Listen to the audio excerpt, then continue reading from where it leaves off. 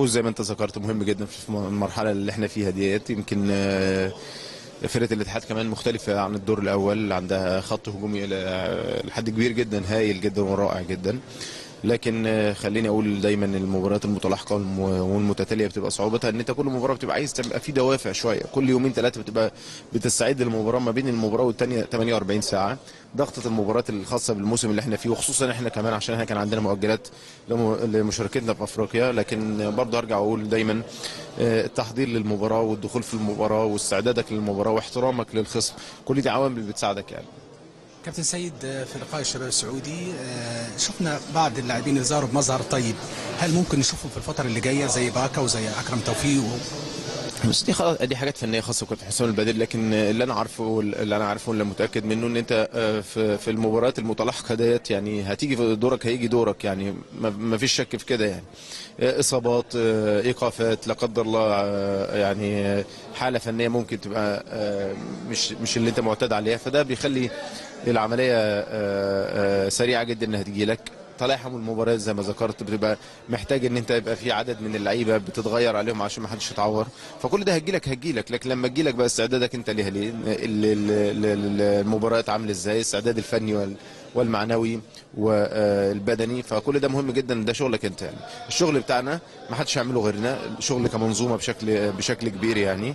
استعدادك للقاءات استعدادك للمرحلة اللي أنت فيها أهدافك اللي أنت عايز تحققها من كل مرحلة كل ده شغل محتاج إن أنت تركز فيه بشكل كويس. امبارح امبارح خلاص يعني انتهى بكل ما فيه بحلو وبمره. فاستعدادك لبكرة عندنا مباراه مباراتين في أربع أيام مع فرقة مقدمة مردود طيب جدا في الدوري لحد دلوقتي اللي هي مباراة المقاولين العرب المقاولين العرب يوم الخميس ويوم الاثنين. فمع كابتن محمد عودة فان شاء الله الرحمن نحضر لها بشكل كويس ونستعد لها بشكل كويس ويا رب بإذن الله يكون التوفيق حلفنا بإذن الله. آه، تلاحق المباريات يا كابتن وبتلعبوا كل يوم كل ثلاث أيام ماتش ما بيسببش للجهاز الفني نوع من أنواع القلق نوع من أنواع الاضطراب وخاصه إن بعض الأساسيين خاصة على اللعيبة الاساسيين بالتأكيد يعني ضغطة المباريات عامل بيحطك آه، آه، يعني في يعني فرصة لل- لل- لل- للإصابات أو لا قدر الله آه، حاجة أكبر كمان من إصابة ممكن تبقى عضلية ولا حاجة لكن ممكن تبقى أكبر من كده. لكن في النهاية زي ما قلت هو موسم استثنائي فعلينا إن إحنا نخوضه وعلينا إن إحنا نتعامل معاه ونتعامل مع الواقع يعني.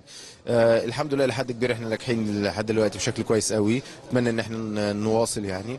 لكن هقول برضو دايما إن ثقتنا في اللعيبة ايا كان المجموعة اللي بتنزل ايا كان المجموعة اللي بتلعب ايا كان اللي موجودين في الملعب فما عندناش آه، شك ابدا ولا عندنا اهتزاز في ثقتنا بيهم ابدا. الكل بيأدي والكل بي بيخش في المنظومة وأنت شايف يعني الحمد لله رب العالمين أو الناس شايفة يعني أنت بتلعب بنفس ال- الأسلوب ونفس الطريقة لكن الكل حافظ يعني. وعايز أقول كمان إن متعة كرة القدم صحيح في الجزء ال- ال- التهديفي أو المهارة أو أو لكن كمان ال- النظام الدفاعي أو التكتيكي لازم كمان تبقى انت مستوعبه تماما يعني انت إحنا فرقة بنلعب كتلة واحدة.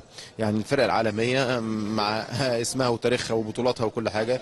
هتبص هتلاقي عندها يعني آه، فترة بتدافع وفترة بالهاجم. يعني مش كله هجوم على طول. يعني الملعب ما بينفعش يتقسم نصين.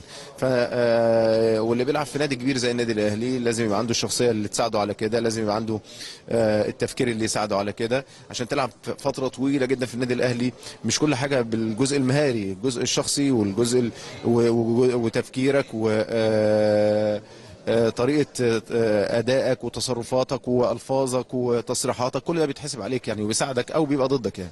أخيرا كابتن سيد أهم المكاسب أو الايجابيات من وجهة نظرك في اليوم كل يعني المكسب بالتأكيد كله إيجابيات يعني. لكن مباراة زي ما أنا قلت مش عايز أقف عندها كتير لأن هي مباراة وانتهت.